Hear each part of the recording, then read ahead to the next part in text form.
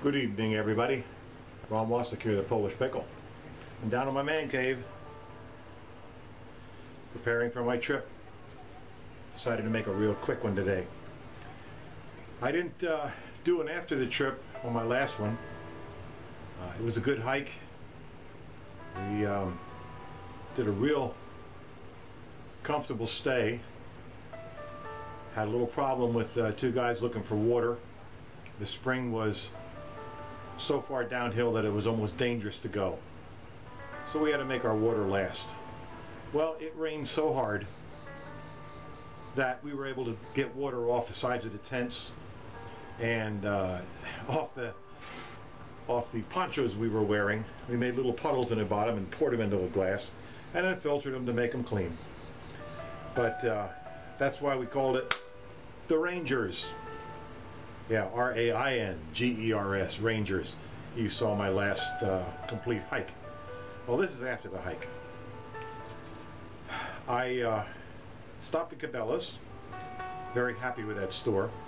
There's a guy up in the camping department named Jeff. Gave you the shirt off his back. Go up and visit him. Really a nice guy. And tell him Ron sent you from the volunteers out of Blue Marsh. He'll know exactly who you're talking about. Him and I have worked together a couple times. In fact, you saw him on one of my previous short hikes out at Blue Marsh. All right, moving on.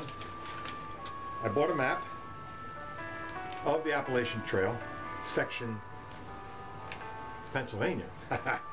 well, I want to show you where I'm going from too, this time. I'll try to get this close enough that you can see it. And maybe you can't, but from this finger to this finger, that would be the Hamburg watershed, which is right here, the water, the wet reservoir. And that's known as, that's also at the Windsor Furnace Shelter, for those of you through hikers that have been through here. And I'll be hiking down to Port Clinton right here on Route 61 and getting picked up there. Very, very happy with this. The map itself also has distances between the areas that you're marching, hiking. There I am back in the military again. And uh, lets you know about how many miles it is. Uh, yeah, you can use a ruler. They've got a mileage marker on the bottom. But that trail turns and winds so much. Uh, besides, you got to add going down to the springs. You got to add walking to the shelters. Uh, I do believe I am going to be staying at Pocahontas campsite, which is about six, not quite six miles, five, 5.2 miles from where I'm going to get dropped off. Then I'll only have uh, about two and a half to three miles till I hit Port Clinton. The whole thing seems to be about eight, and according to them, it's 8.6 from where I'm going, from where I'm getting dropped off to where I'm going. I've got the rucksack ready, and right here it is. Got it packed. Little on the heavy side. It's probably around 37 pounds again. But being that I'm going with myself and nobody else right now, uh, I put out a request uh, about three times now on Facebook to see if I could get a companion to go with me. No luck. If anybody's interested, we'll have transportation to the reservoir. Well, we got to walk up the mountain a little bit, but We'll have transportation to the reservoir, and then they'll pick us up at Port Clinton to take me back to my vehicle so I can take either the person home that's going with me, or we can leave both our vehicles right there with my friend in Hamburg. All right, that's after the hike. That's before the hike. I really would like to have somebody go with me. Looks to be a fun time. Oh, and geocaching. There's two geocaches along the way. I intend on getting them. They're fun for me. And not a lot of people get a chance to hike the Appalachian Trail just to do geocaching. So I'm probably one of the few, but I got to tell you, I enjoy it. I found one today that was a three and a half to a four difficulty.